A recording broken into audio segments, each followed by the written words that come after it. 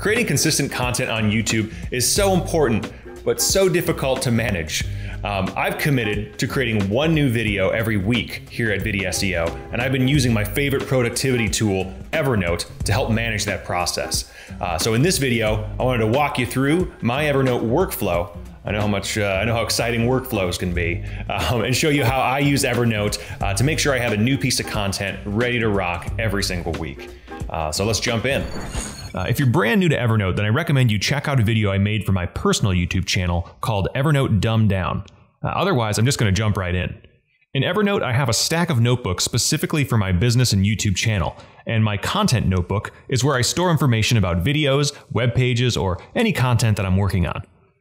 I start by creating a note for the video I'd like to create and give it a title. Right at the top of the note, I add a production checklist. I usually paste it in from one of my completed videos, but checklists are incredibly easy to create in Evernote uh, by clicking on the checkbox icon. So certainly tailor your production checklist to match your own process, uh, or just copy mine. Underneath the checklist, I add a section where I'll write the script for my video. I create the little line breaks by clicking the line break icon, but you don't have to do it. I just think it looks cool.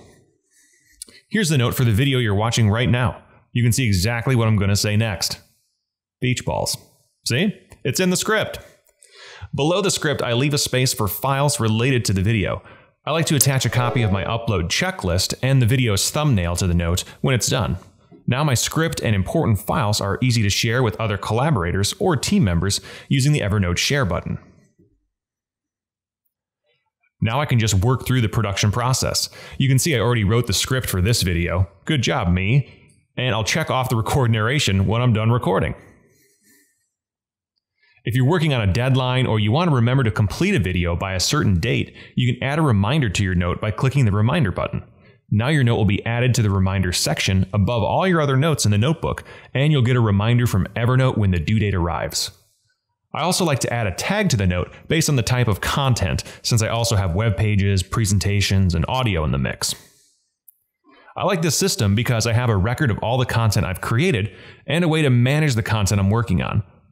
Plus, you can create saved searches for the notebook you're in uh, to only show notes with incomplete to do items, or see all the videos you're finished with by creating a custom search for notes with completed to do items. Now you have an easy way to see what you're working on, what you've already done, and everything in between. So there you have it. Um, if you don't have an Evernote account, um, you can use my link below uh, this video to get a free month of Evernote Premium. Um, I don't make any money off that, but if I send enough people to Evernote through that link, Evernote will invite me out to their headquarters. And I want to make sure that that happens. So if you don't have an account, sign up for one. You'll love it. Seems like a million people use it, uh, and I'm one of them.